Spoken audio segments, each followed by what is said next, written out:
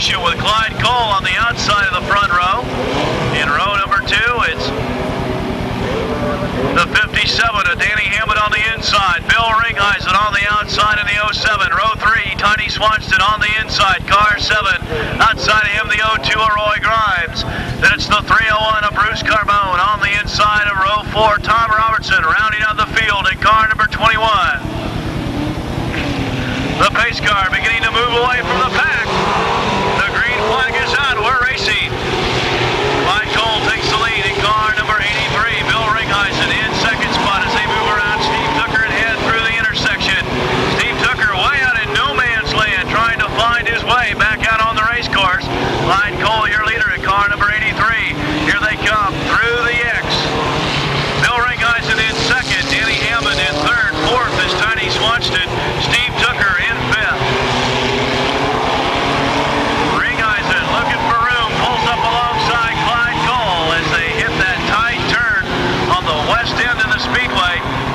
again back out front as they head through that intersection. Roy Grimes pulls out of action in the 0-2. Here come the leaders through the intersection. Clyde Cole, Carter Brady, three, your leader, with Bill Ringheisen in second, Danny Hammond in third, fourth is Tiny Swanston.